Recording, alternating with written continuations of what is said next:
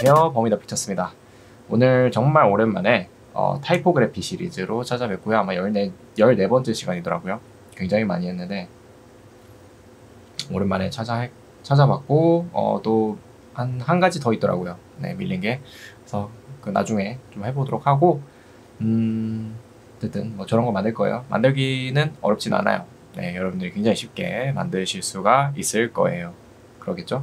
네 자, 해외 튜토리얼을 잠깐만 보고 가면 오늘도 마, 역시 또 모셨을 거고요. 제가 이분 걸 많이 하는 거는 제가 좋아하는 스타일이기도 하면서 지금 많이 밀렸어요. 이분 거 많이 하는데 많이 밀려가지고 네, 좀 자주 하도록 할게요. 이분 거는 자, 그 다음에 우리 어, 광고를 보고 어, 만들도록 하죠.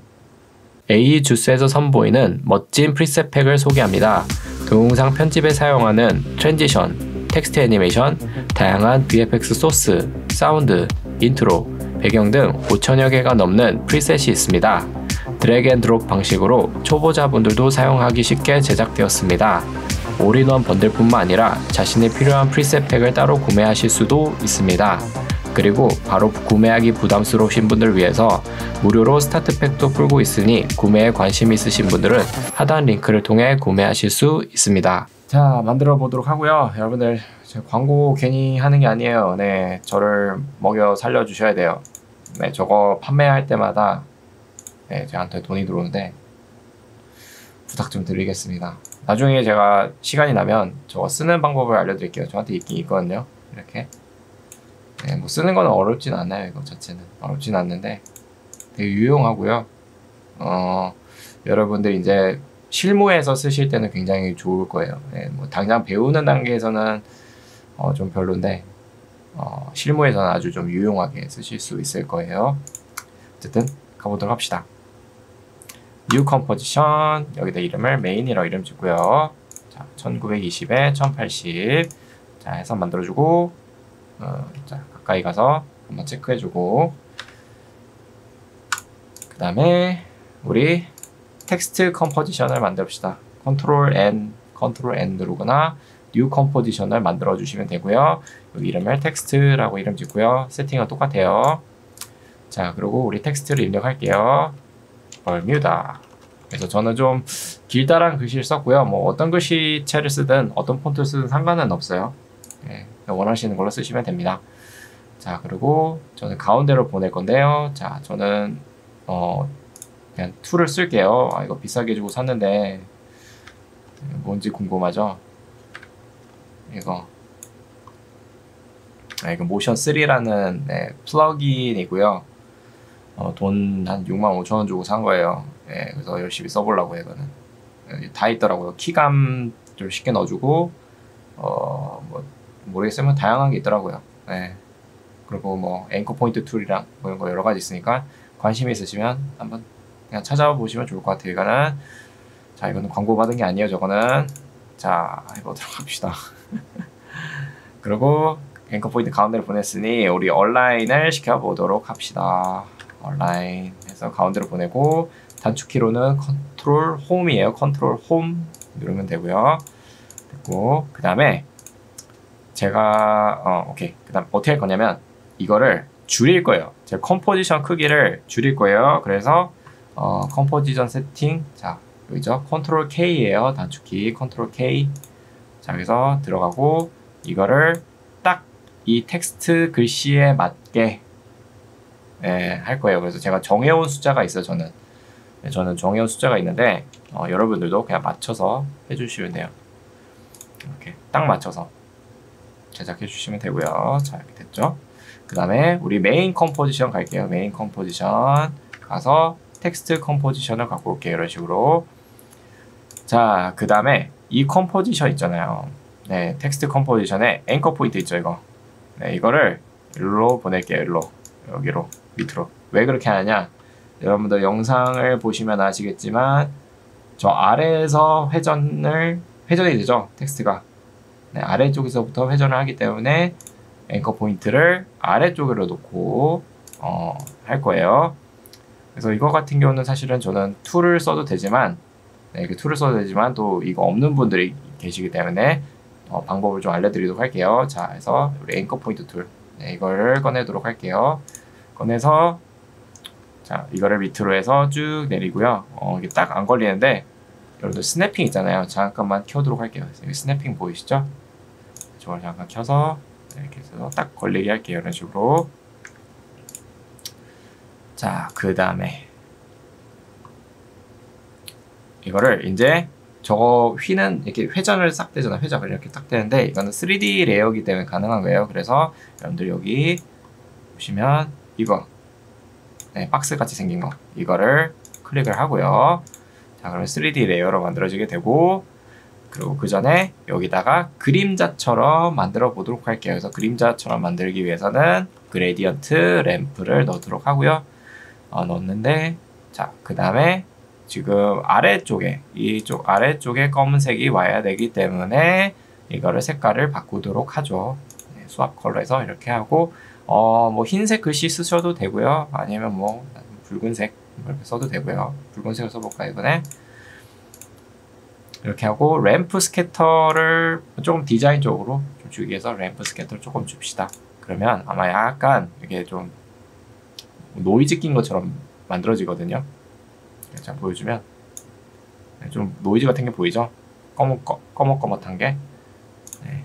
좀 많이 줄까요? 30 좀 줄까요? 30 이렇게 자 그리고 자 이거를 가운데로 보낼게요. 가운데로 자 P 누르고 P 누르고 자 여기 Y 값 지금 695죠?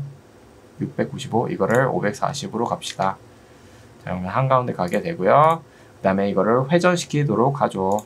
R 누르고 R 로테이션 자 로테이션을 누르고 자 처음에 X 로테이션만 건들 거예요. X 로테이션이 이렇게 방향이에요. 이렇게 그래서 저는 여기다가 처음에는 75도를 넣을게요. 75도를 넣고 자 그 다음부터는 계속 복사해서 사용하는 거예요. 자 컨트롤 D 눌러서 복사하고 R을 누르고 로테이션을 누르고 이번에는 15도씩 뺄게요. 그래서 60도 다음에 하나 더 컨트롤 D 누르고 R을 누르고 이번에는 45도를 넣을게요. 어, 이거, 이거의 개수는 여러분들 어, 상관없어요. 네, 몇 개를 넣든 그냥 간격만 좀 잘 맞춰주시면 됩니다. 이거는 자 그리고 마지막 컨트롤 D 눌러서 R을 누르고 이번에는 마지막 15도 해서 총 4개를 써보도록 하죠. 자 그래서 그 다음에 다 닫아놓고 자 이걸 구분할게요. 위아래. 그래서 색깔을 저는 yellow로 할게요. 위쪽은. 자 그 다음에 밑에 거를 복사를 합니다. 컨트롤 D 복사해서 자 여기를 이제 아래쪽이라는 걸 표시하기 위해서 핑크색 으로 할게요. 저는 layer 색깔을. 자 R을 누르고 마찬가지로 이번에는 어, 90도를 넘겨서 105도로 해볼게요 이렇게. 자 그리고 마찬가지로 계속 복사해서 씁니다. 컨트롤 D 누르고 이제 아래쪽이죠. 아래쪽 건드려 보도록 할게요. 105도가 아니고 여기다 15도를 더하면 120도고요. 또 복사할게요. 컨트롤 D 복사해서 135도. 하나 더 복사할게요. 컨트롤 D에서 마지막으로 이 얼마일까요 165도를 넣을게요 자, 그래서 만들어지게 되고요 자, 그 다음에 이제 이거를 접었다 폈다 해야 되겠죠? 자, 그래서 우리 전체 layer를 선택한 상태에서 R을 누릅니다. R. R을 누르고 어, 이거를 저는 10프레임에 마무리 되도록 할게요. 10프레임에 이게 완성되게 만들어 보도록 할게요. 자, 그래서 우리 X 로테이션 있죠? X 로테이션에 키를 찍습니다. 그럼 한 번에 다 찍히고요. 그리고 0초에 가서 이거를 90도로 해야 돼요. 90도 해야지 이렇게 짜부가 된다. 이렇게 짜부가 돼요. 다음에 이런 식으로 됩니다. 됐죠? 근데 이렇게 하면 조금 뭔가 딱딱해 보이죠? 그냥 쑥 열리는 듯한 어, 느낌을 주는데 음, 그거보다는 조금 더 어, 유기적인 느낌을 주기 위해서 제가 expression을 넣을 거예요. expression을 그래서 expression은 어, 여러분들 제가 밑에 댓글에다가 네, 댓글에다가 달아 놓도록 할게요. 그래서 그거를 참조해 주시면 됩니다. 자, 그래서 제가 이렇게 이렇게 해왔어요. 네, 여기 있죠? expression이 자 이거를 복사를 할게요. 컨트롤 C에서 넣고 여기다 넣을 거예요. X 로테이션의 시계 모양의 Alt 누르고 클릭할게요. 자 그리고 여기다가 컨트롤 V에서 넣고요. 자 그래서 expression이 들어갔어요. expression을 잠깐만 뭐 소개하자면 약간 튕기는 듯한 네, bounce가 되는 그런 expression이고요. 뭐 여기 frequency랑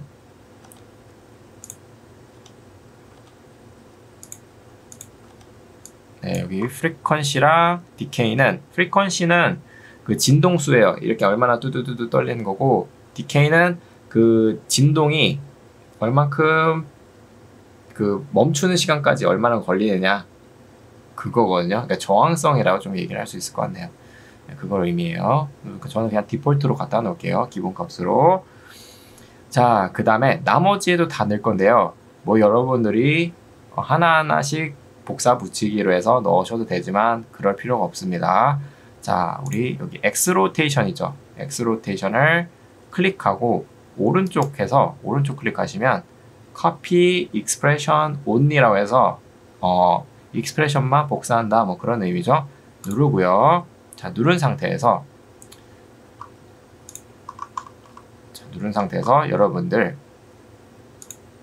우리 X 로테이션 부분만 있죠. 나머지 나머지의 X 로테이션들만 다 선택을 할 거예요. 그래서 선택, 컨트롤 누르고 선택, 선택, 선택 다 한꺼번에 다 할 거예요. 이렇게 됐죠? 그 다음에 그냥 여기서 복사 붙이기만 하시면 돼요. 컨트롤 V를 누르면 다 들어가죠. expression이 이렇게 그러면 이렇게 보면 약간 튕기는 듯한 애니메이션이 만들어지게 됩니다. 자, 그 다음에 다 접을게요. 이렇게 다 접어서. 그 다음에 어, 조금 더 어, 이렇게 하면 한꺼번에 펴지니까 살짝의 간격 같은 거 두면 어, 조금 더 이뻐집니다. 그래서 여기 이쪽 레이어부터 2프레임 간격, 2프레임 간격 하나, 둘 옆에 살짝만 넣고요. 자, 이런 식으로 가까이 가볼게요. 이렇게 그 다음에 하나, 둘 간격 넣고 이렇게 하나, 둘 간격 넣고. 네. 그래서 그 한 프레임 움직이는 거는 page down이에요 단축키. 자 그리고 나머지 밑에 것도 그냥 여기 맞춰서 해주시면 됩니다 이렇게. 네. 그래서 모양이 약간 V자 모양으로 이렇게. 네, 나오게 해주시면 되고요. 보도록 하죠. 네, 조금 더 다르죠?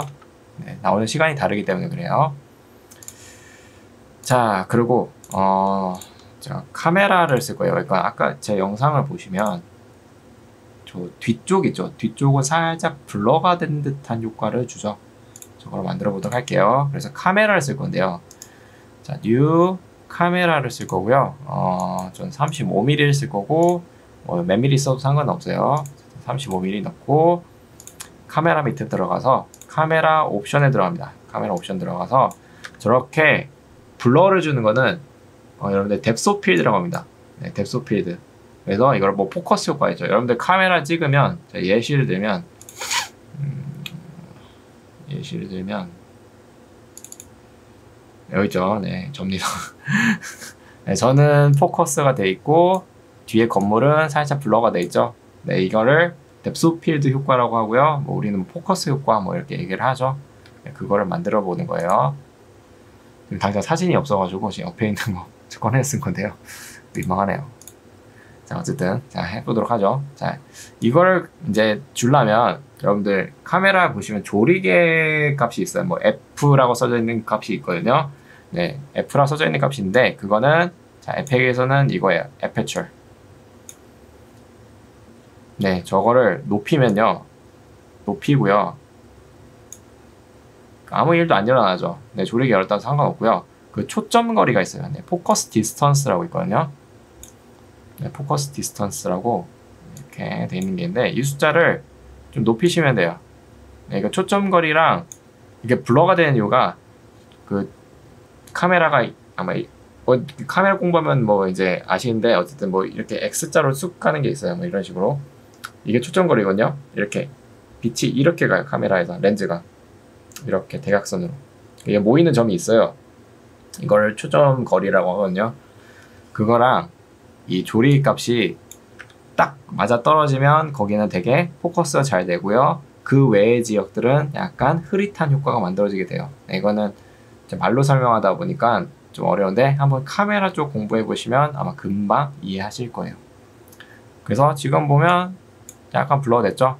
네, 지금 초점거리 이런 게 잘 안 맞아서 전체적으로 다 블러가 된 건데 어, 저희가 숫자 정해온 게 어, 있긴 있어요 이렇게. 네, 좀잘 안 되네요.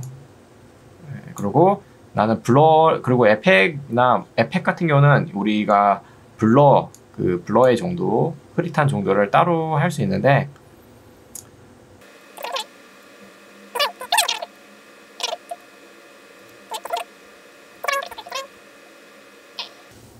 참 이게 어렵네요. 어쨌든 이렇게 여러분들 만져보시면 네, 그 효과를 보실 수 있으니까 여러분들 직접 한번 만져보시면 될 것 같아요. 네, 제가 찾다가는 어, 강의 길어질 것 같아서 네, 그래서 찾아보시면 되고 이렇게 작업하면 된다.